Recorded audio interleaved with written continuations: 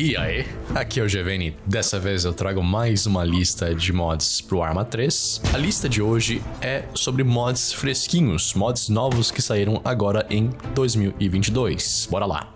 Bom, vamos começar aqui pelo mod Advanced Default System Remastered. O que esse mod faz é acrescentar novas mecânicas e animações de vaulting, que é aquela escalada, né? Mas além disso, você também consegue pular, fazer rolamento no chão quando você cai de um lugar alto e também deslizar. Essas opções são realmente um pouco arcade, mas você consegue configurar todas elas no menu do mod. Então, se você acha que isso é um pouco apelão ou não faz sentido dentro da simulação que você está fazendo, você pode configurar tudo isso aí. Eu acho que esse mod é bem legal para que eles querem fazer uma coisa interessante de parkour, tipo um mapa mais assim de obstáculo e tal, mas nada também te impede de usar isso aqui para simular, né? Claro que ajustando os parâmetros uh, que você quiser. Enfim, acho que é um mod interessante para vários fins e é isso aí. Essa foi a primeira sugestão que eu dou para vocês.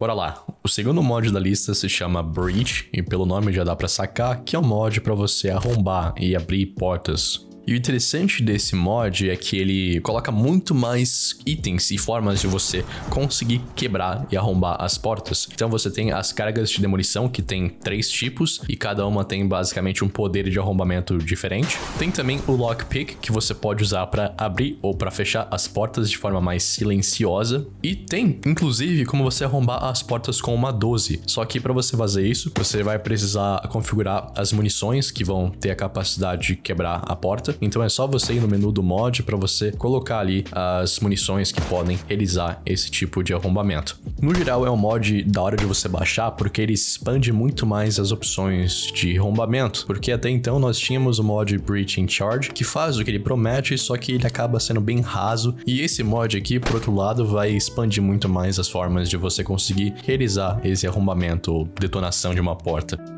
Como complemento a esse mod, eu acrescento o mod chamado Melee, que é praticamente um Improved Melee System, que é um mod que eu já trouxe aqui no canal, só que um pouco mais simplificado. Sendo sincero, esse mod aqui, ele é bem simples e meio até tosco de você usar. Só que tem uma mecânica que eu acho legal, que você consegue também chutar as portas com esse mod. Então, se você utilizar esse mod com o mod Breach, você consegue também fazer os arrombamentos com um chute, o que acrescenta um pouco mais de imersão. E é bem interessante esse tipo de mecânica para, por exemplo, uma missão mais policial que você for fazer. Mas enfim, bora pro próximo mod.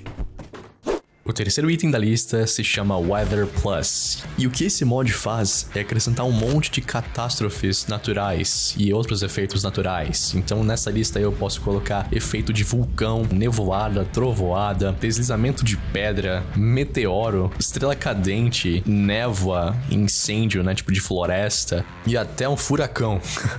Enfim, é um monte de efeito que você consegue colocar através do Zeus, que é o editor em tempo real do Arma. Então você pode colocar isso aí da forma que você achar mais interessante. E eu acho que pode ser bem legal para você colocar em missões aí, talvez mais divertidas aí com seus amigos. Eu acho que dá para você usar isso aqui em vários tipos de contextos e vários tipos de simulação. Acho que a única coisa que vale mencionar é que talvez ele afete um pouco da sua performance, porque os efeitos no jogo realmente pesam um pouco, mas eu não senti tanta assim perda nos FPS. Você sente a perda de FPS, mas não é nada tão brutal assim, pelo menos na minha experiência.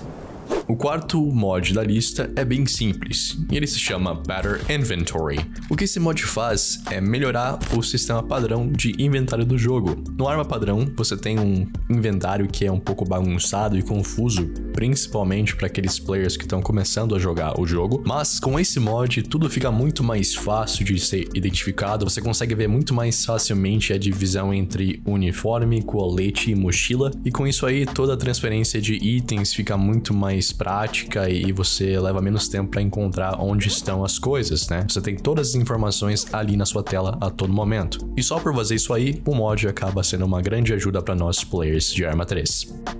O quinto item dessa lista se chama Better Convoy, e o que ele faz é acrescentar um módulo durante a edição das missões que vai facilitar demais a criação de um comboio. Então, para você utilizar essa modificação, você vai ter que no editor, procurar a aba Efeitos dos módulos e procurar ali Convoy, que seria comboio. E aí depois disso, você monta o seu comboio de carros da forma que você quiser, e após isso, você vai ter que sincronizar o módulo, apertando o botão direito, e colocar junto dos carros. Então você sincroniza customiza o módulo com todos os carros do comboio. Antes de você começar a missão, é interessante você clicar no módulo para você configurar os parâmetros do comboio. Então, nessas opções, você consegue mudar, por exemplo, a velocidade do comboio, a distância entre os carros, enfim, são várias opções que você pode mexer para deixar ao seu gosto. Bom, esse mod aqui então é bem simples, mas ajuda demais em missões que envolvem comboios. Então, se você tem em mente fazer uma missão assim, cara, baixa esse mod que vai te ajudar demais, vai poupar muito tempo e vai facilitar demais a criação da missão.